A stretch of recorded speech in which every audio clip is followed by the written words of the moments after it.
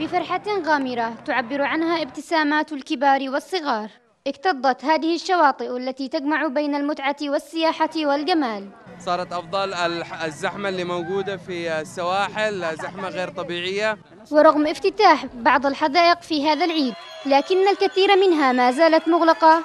ما جعل هذه السواحل بديلة لتدفق الزوار. أحلى الحدائق بس يعني بهذه الفترة الحدائق مسكرة وهكذا. فاضطرينا إنه نخرج للبحر يمكن نغير الأجواء. لا تقتصر زيارتهم لهذه السواحل على السباحة بل تتعدى إلى التخفيف من ضغوط الحياة والاستمتاع بالطبيعة الساحلية الجميلة. المكان شعبي جدا وروعة جدا المكان والمنظر خلاب جدا حلو. الانتشار الأمني كان ملحوظا لتأمين المتنفسات السياحية. فالإشكالات الأمنية لم تؤثر على توافد الزوار إلى هذه السواحل وانتعاش السياحة الداخلية في العاصمة المؤقتة. مروى السيد قناة بلقيس عدن.